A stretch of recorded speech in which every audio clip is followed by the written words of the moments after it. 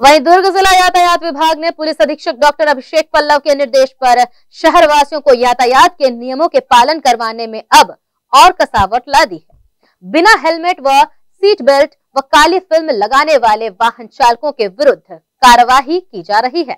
यातायात विभाग के टीआई के बी नागे ने बताया कि शहर की लचर हो चुकी यातायात व्यवस्था को वापस पटरी पर लाने के लिए दुर्ग जिला पुलिस अधीक्षक डॉक्टर अभिषेक पल्लव ने सख्त निर्देश दिए हैं, जिनके परिपालन में जगह जगह चालानी कार्रवाइयाँ की भी जा रही है और काफ़ी सख्ती के साथ दोपहिया वाहन चालकों को समझाइश देते हुए हेलमेट पहनने के लिए न जागरूक किया जा रहा है, बल्कि चलानी कार्रवाई भी की जा रही है। साथ ही चौपहिया वाहन चालकों को भी सीट बेल्ट लगाकर वाहन चलाने के लिए समझाइश के साथ चलानी कार्रवाई की जा रही है। ग्यारह से सत्रह तक का जो सर्टिफिकेट मनाया गया यातायात सप्ताह, और बहुत प्रयास किया गया हर प्रकार से हमारे वरिष्ठ अधिकारी के निर्देशन में, और काफ़ी उसका रिज़ल्ट तो मिल रहा है। लोग पहले जो बेल्ट कम लगाते हैं, उसमें थोड़ा इजाफा हुआ है, और हेलमेट में भी इजाफा हुआ है। इसके बावजूद अभी जैसा प्रचार प्रसार हुआ और रिज़ल्ट मिलना चाहिए था, उसका रिज़ल्ट मिल नहीं रहा है। तो कार्रवाइयाँ तो चल रही हैं।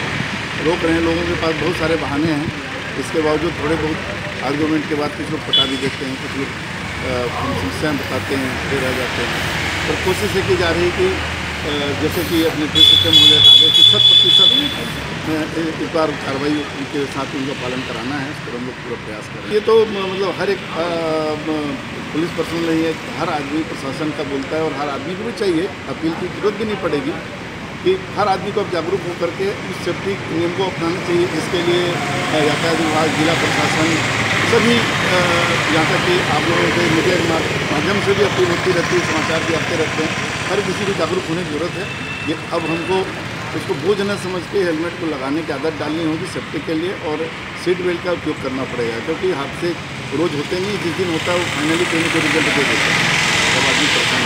दुर्ग जिला यातायात पुलिस विभाग द्वारा कार्रवाइयाँ तो लगातार की जा रही है, परंतु वाहन चालकों द्वारा अब भी लापरवाही उजागर हो रही है।